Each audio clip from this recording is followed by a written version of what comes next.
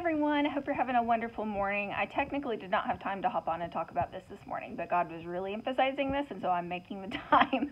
Um, so if I kind of fly through this, I apologize, you guys. Um, but God was telling me to hop on and talk to you guys about Leviathan today. Now, I've spent a ton of time with you guys talking about Python spirit and Jezebel spirit in the past. I haven't spent quite as much time talking to you guys about Leviathan, and it's something that has really been acting up in this past season, which is why it was so important to hop on and talk to you guys. And this is going to apply to a lot of you right now. Um, and it even applies to a lot of what's going on across the world right now, okay? So we see Leviathan, which represents pride. This is a spirit of pride, okay? And we see it originate in the book of Job in one of the places where it comes out in the Bible. Um, and I want to read you Job uh, 41, starting in verse 1. It says, Can you pull in Leviathan with a fish hook, or tie down its tongue with a rope? Can you put a cord through its nose or pierce its jaw with a hook? Will it keep begging you for mercy? Will it speak to you with gentle words? Will it make an agreement with you for you to take it as your slave for life? Can you make it pet a bird or put it on a leash for the young women in your house? Will traders barter for it? Anyway, it, it keeps going. You kind of get the flavor. For time's sake, I'm going to skip down. I would encourage you guys to read this whole chapter on your own time. Um, it says, uh, I'm going to hop to verse 12. I will not fail to speak of Leviathan's limbs, its strength, and its graceful form. Who can strip off its outer coat? Notice that's very symbolic of the place of hardenedness. This is a, a person who struggles with the spirit of pride. Leviathan is often very hardened in their heart stance. Amen. Um, who can strip off its outer coat, who can penetrate its double coat of armor. A lot of times, people with Leviathan will put up very strong walls and push people away, and that will serve as the quote unquote armor to justify their stance of pride. Let's keep going. Who dares open the doors of its mouth, ringed about with its fearsome teeth? Its back has rows of shields tightly sealed together. Again, it pushes people out, especially people that it's afraid of um, and that are operating in a place of humility. Okay. Um, its back has rows of shields tightly sealed together. Each is so close to the next that no air can pass between. They are joined fast to one another. They cling to one another and cannot be parted. Its snorting throws out flashes of light. Its eyes are like rays of dawn. Flames stream from its mouth. Sparks of fire shoot out. Smoke pours from its nostrils as is a boiling pot over burning reeds. Its breath sets coals ablaze, and flames dart from its mouth. Strength resides in its neck. Dismay goes before it. That's talking about dismay goes before a spirit of pride. Okay. The folds of its flesh are tightly joined. They are firm and immovable. This is what a person is like who is under this uh, influence of Leviathan or pride. They are immovable. They are firm. We're going to talk about that in a second. Okay. Its chest is hard as a rock, hard as a lower millstone. When it rises up, the mighty are terrified. They retreat before its thrashing. Notice it's an intimidating spirit, right? The sword that reaches it has no effect, nor does the spear or the dart or the javelin. Iron treats it like straw, and bronze like rotten wood. Arrows do not make it flee. Slingstones are like chaff to it. A club seems to it but a piece of straw, and it laughs at the rattling of the lance.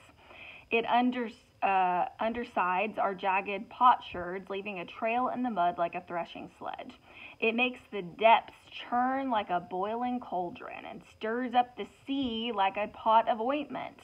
It leaves a glistening wake behind it. One would think the deep had white hair. Nothing on its earth is equal, a creature without fear. It looks down on all that are haughty. It is the king over all who are proud. This is how we know that it's a spirit of pride. It is the king over all who are proud wanted to talk to you guys about the spirit of Leviathan today and how do we stand against this in a place of prayer, okay? Because this is acting up big time in this past season and currently. I've been praying for some people who um, have been struggling with this spirit in a past season, and let me tell you, it's hard when you know these people who are caught up in this Leviathan junk on their life, okay? So, I want to tell you that Leviathan, the spirit of pride, likes to operate through a place of insecurity and deception, okay? Um, insecurity will cause people to operate from a prideful stance a lot of the time. Okay. Um, and deception, you know, Leviathan blinds people. You read all throughout this passage that I just read you guys. It talked about being hardened. Okay. When you're in a place of deception, you're hardened to everything else that's going on around you. You only see what you want to see in that particular moment and in that particular time because you're under the spirit's influence, right? I'm not saying that necessarily everyone who has struggled with Leviathan is possessed, right? There are some who could deal with this kind of stuff. But a lot of people are oppressed by this spirit, okay? And it can still affect people in a very, very negative way, even saved people, even Christian people, okay? It's a twisting spirit. This is what it does it twists words, actions, and intents of the people around them, especially people who love that person, okay? So that insecurity inside that person will cause them to kind of go into shutdown mode and they will automatically assume the worst of people who are in their life. It's a twisting spirit. You know, the devil will put partial truths with a whole lot of lies and kind of mix it together where that person in that place of deception cannot discern truth from lies in that moment, okay? And it's a very defensive spirit, right? It's it's a very standoffish, put offish kind of spirit because it's operating from that place of rejection. Leviathan loves people who have had a past with rejection, parents who have rejected them, you know, significant others who have rejected them. Um, you know, all kinds of stuff. Any kind of, you know, major encounters with rejection, Leviathan will try to latch on to these people a lot of the time.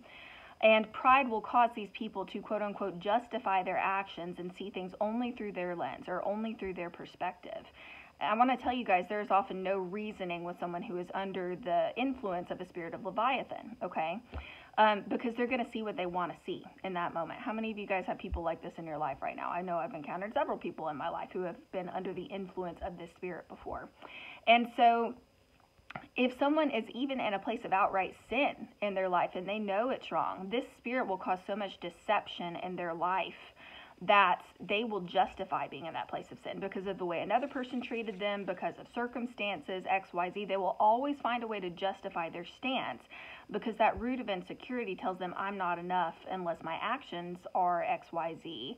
And I assume this person is going to think less of me, so therefore I'm going to take this stance. And they will, you know, there's no reasoning because it's a spiritual problem, not just a problem going on in natural. You guys following me so far? So you've got to remember when you are dealing with someone who is struggling with Leviathan that your war is not against flesh and blood, and you're not going to defeat it by reasoning with them, talking through them. They've got to have an encounter with God, okay, to overcome this pride junk on their life, all right? And so you've got to pray for them. Pray for them to receive God's love. Pray against the mental. So much of Leviathan is mental warfare, right?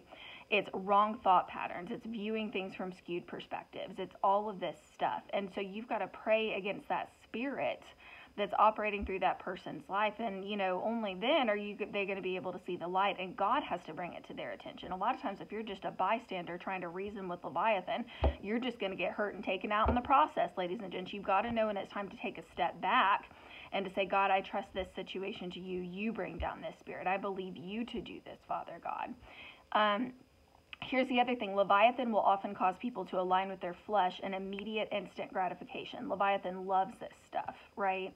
Um, when people are insecure, they're not thinking about the future. They're not thinking about what's best for them. They're thinking about that immediate moment because their life just feels like it's out of control right? And so what this spirit will do is it will hit a person who's in a very vulnerable place and it will throw something flashy. It's almost like throwing a gold coin in front of someone, right? It will throw something flashy, easy, instant, quick in front of that person and it will not show them the consequences, but it will say, "Look at this thing. This thing is so cool. You should go after this." And it this spirit will appeal to their insecurity. It will make them feel more safe in the moment, quote unquote, and it will make them feel like, okay, well, at least I can kind of, you know, settle a little bit rather than dealing with the root of the problem. And the spirit will come in. The other thing that Leviathan does is it very much takes a them versus me mentality. I don't know if you guys have dealt with a lot of people who have dealt with pride issues in their life, but it very much tries, again, it's mental warfare, a lot of this. It will go into that person who is struggling with this stuff and it will make it seem like the people who are for them are the enemy. Amen. It will divide. It's a dividing spirit, right? It's not a spirit that's of unity. It will try to divide, especially within the body of Christ. This stuff operates in churches too, ladies and gents, not just on an individual level. It's a very dividing spirit, a them versus me mentality. Okay. It often operates in those who have a past of rejection, not always, but a lot of the time it does. Um, and you know, that person feels like they have to stand up for themselves. They have to prove their stance 24 7. It's a very much, I have to depend on my own. You know, I see this a lot or I have seen this a lot and maybe kids who grew up in a home that was not very stable, you know, because they had to take care of themselves. Maybe they didn't have the security of mom or dad being able to be there consistently to provide for them growing up. And so they kind of take on this stance of, I've got to watch out for myself, and they're not used to having God take care of them. And so they kind of take on this mentality of, you know, I've got to be strong. I've got to do all this stuff. And so that's how the spirit can wiggle its way in when we depend more on ourselves than we're depending on God in our lives, okay? Um, other examples of areas where Leviathan runs very prevalent in our society. Leviathan's often very involved in politics. I don't even have time to get into all of that today, but that's definitely a thing. Um, the other thing is Jezebel's spirit often likes to tag team with Leviathan, okay?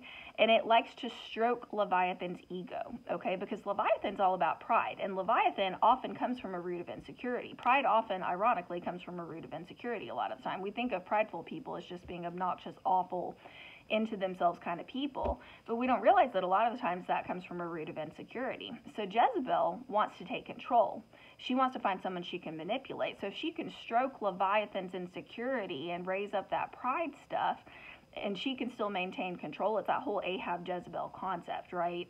You know, then Jezebel will lock on in an instant because Jezebel's real good at stroking egos, but she's also real good at causing major collateral damage, right? And so the, we see these two spirits operating together a lot for whatever reason.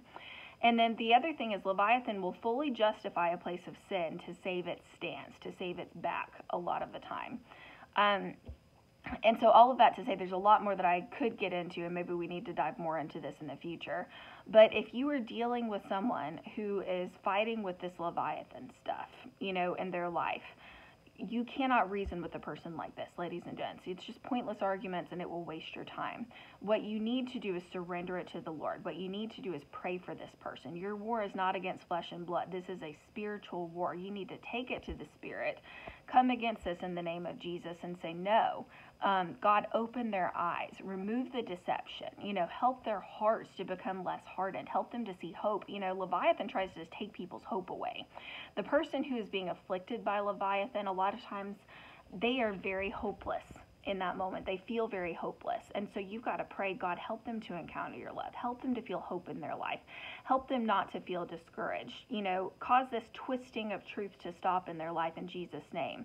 Because ultimately, Leviathan's goal is not only to take down everyone around them, right? But their goal is to take out the person who it's afflicting. And so you've got to understand, even though this spirit causes a lot of damage unknowingly and the people who are operating it, for those who are in their path, it also takes down the person a lot of the time or tries to, who's being harmed by it. So pray against deception. Pray for your loved ones who are under the influence of this. Um, and I'd encourage you guys do a deeper study on this. It's really eye opening um, when you look at what the Bible has to say about Leviathan.